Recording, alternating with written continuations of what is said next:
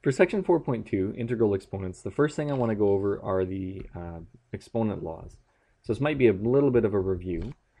The first exponent law is multiplication.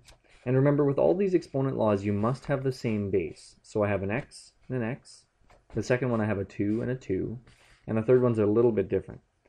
So for multiplication, with the exponents, we add them. So you have x and x, so my base is x.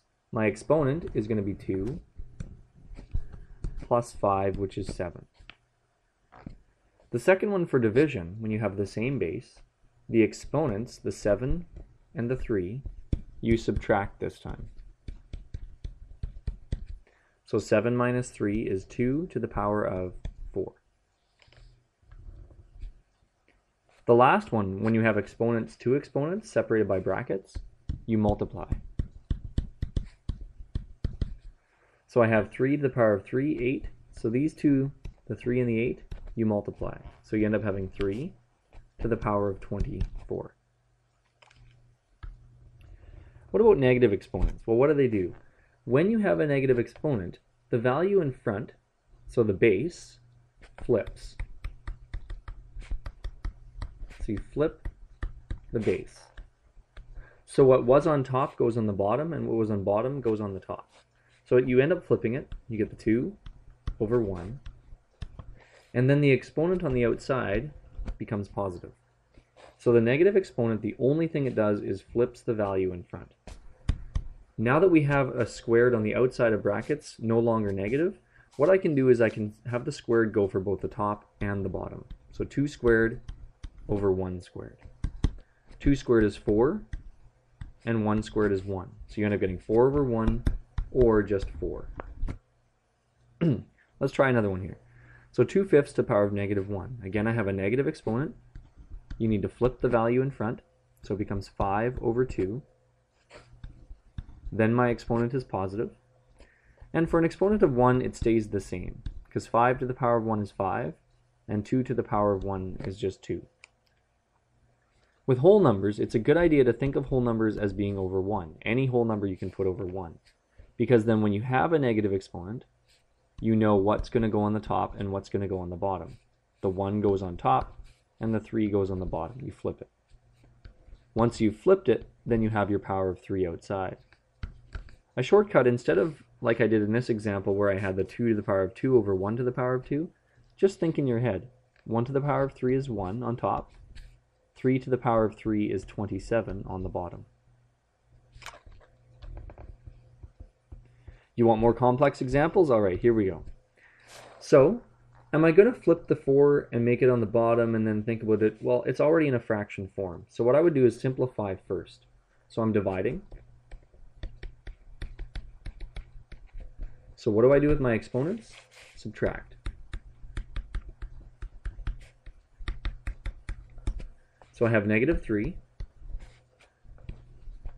and a negative 1 and remember, I'm subtracting them. This is important because when you're subtracting two negatives, what happens with these two negatives here? They change to a plus. So you get negative 3 plus 1, which is actually equal to negative 2. So this whole thing breaks down into 4 to the power of negative 2. Notice all I did down here was doing dealing with the exponents. So 4 to the power of negative 2. Now I can use my negative exponent rules and flip. So it's going to be 1 over 4. Notice I put it over 1 again to the power of 2. And again, 1 squared is 1. 4 squared is 16. So my final answer is 1 over 16. So it's a good idea to simplify first. Simplify first. So on the top, with these two exponents, I'm going to add them. So I get 8 to the power of 5. On the bottom, I have 8 to the power of 5. Now I'm dividing. So these two exponents I subtract. So 5 minus 5 is 0. So I get 8 to the power of 0. And notice anytime I have anything to the power of 0, it's always equal to 1, not 0. If you have x to the power of 0, that's 1. If you have y to the power of 0, that's 1. If you're ending, if this is your final answer, x to the power of 0, or y to the power of 0, or whatever you have, doesn't matter what's inside the brackets, So you could have 27x squared y to the power of 0 is 1. So if your final answer is to the power of 0, make it equal to 1. All right, let's do a few, more here. So again, I have inside the brackets, I have 2 thirds and 2 thirds, which is good. They're the same base. That means I'm multiplying. I can do what with the exponents? Add them. So I get 2 thirds. Now, think about this. I got a negative 3 plus 5. So that's going to be 2 thirds to the power of 2. And then on the outside, the brackets I have to the power of negative 2. What do I do with these two exponents? Multiply them, because you have an exponent to an exponent. So you end up with 2 thirds to the power of negative 4. Okay, I'm not done yet. I still have to get rid of this negative exponent. So I have to flip. So I end up with 3 over 2 to the power of 4. Now I have to think of each one separately. Well, let's think. 3 to the power of 4, 3 to the power of 4 is 81 and 2 to the power of 4, just double it each time. 2 times 2 times 2 times 2. 2 times 2 is 4, times 2 is 8, times 2 is 16. Do they have a common factor? Nope. So that's your final answer. Here, on the top, I have y to the power of 3 to the power of 0. Now, I know that's going to be 1. But let's just leave it, because it's not my final answer yet, let's work with it in the, in the equation. So 3 and 0 I multiply. So I get y to the power of 0 on top, y to the power of 5 on the bottom. My power of negative 3 is still outside. Am I going to multiply the exponents in? You could do that. But it might be easier first to deal with what's on the inside. So I have an... Just one second here. So I have 0 and 5. What do I do with those two exponents? I subtract them. So I get 0 minus 5, which is y to the power of negative 5, and then to the power of negative 3. And then these two exponents, I multiply. So I end up getting y to the power of 15.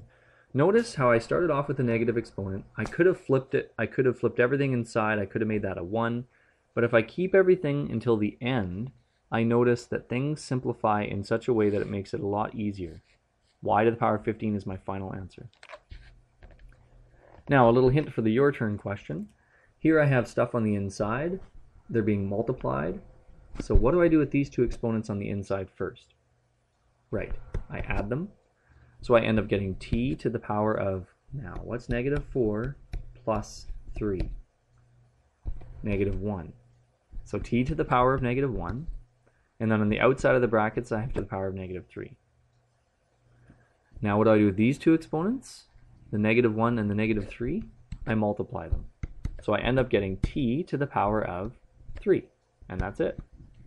So it's a good idea to always simplify inside the brackets, then go outside the brackets, just like bed mass, right? Brackets, exponents, then you do your dividing and multiplication, then you do your adding and subtracting.